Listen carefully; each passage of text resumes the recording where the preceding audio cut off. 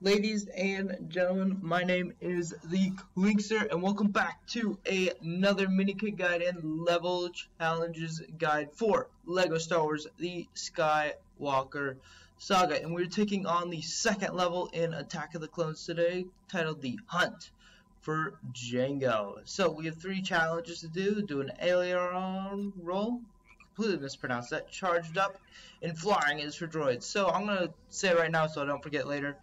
Uh, if you want to use it, there are quick links in the description box below that you can use to skip ahead to the first, second, or third challenge or any of the five mini kits that we will be collecting today. So, without further ado, let's get started with the hunt for Jango. We have five mini kits, three challenges, True Jedi. Let's get to it. And A.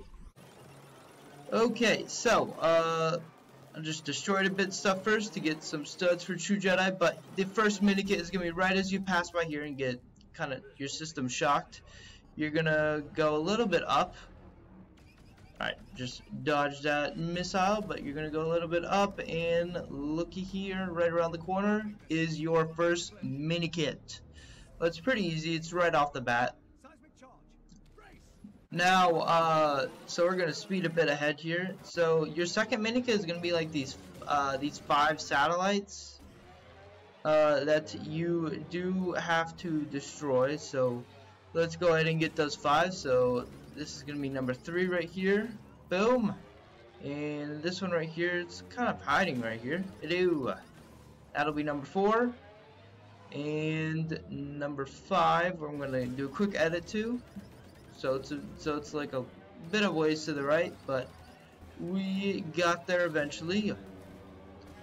But uh, anyway, since there's no map, uh, I, I mean these satellites are pretty big. All you have to do is just search around the map for them.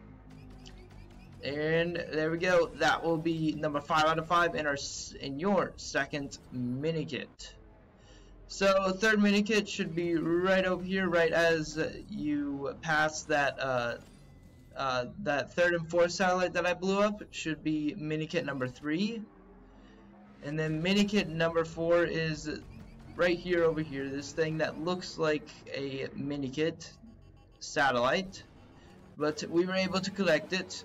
By the way, uh, the collectibles detector is really useful for this uh, for this level. So now we're going to take on the level challenge. Flying is for droids, and you just have to go through this entire asteroid without crashing into it. So my advice is to just take it super slow. Now, of course, we're playing the slave one, which probably isn't the best tool because it's kind of very elongated, which I probably should have chosen an X-Wing or something like that, but it is what it is. But basically, just take it slowly, and you should be able to get it done no problemo. And there we go. We got out. Alright, and then for our fifth and final minikit, we're actually going to turn back into this. We're going to go full speed now. I crashed several times, as you can see. And the fifth minikit is actually inside the asteroid, and it is right over here. Alright, it is just under this rock. Here it is, right over here. Sweet. Now, uh, we're going to go back and do a rerun for the final two challenges because it's just going to be way easier that way to get it done if we uh, restart the level. So, without further ado, I'm going to do a quick edit and we'll restart the level. Okay, so uh, the second challenge is to do an alien roll. So basically, you just have to dodge these incoming missiles at you, and you have to do them three times. So I'm just going to show you each of the three times till we... Whoa, okay, that was a close one. Alright, and then we just got to dodge those. There we go, and that is a challenge completed. Now, the next challenge we're doing is the charge up challenge. And, well, well I'm not going to show how to do it. It's really easy. Just avoid the uh, the seismic blast charges and you'll get it. But that's a level complete and we get true Jedi as well. So we got a bunch of studs out of time. So yep, over 150,000 studs. That is very useful. We're over 2 million in our studs now. So that is a very, very good thing. Now we completed all three of the level challenges, which is a very good thing.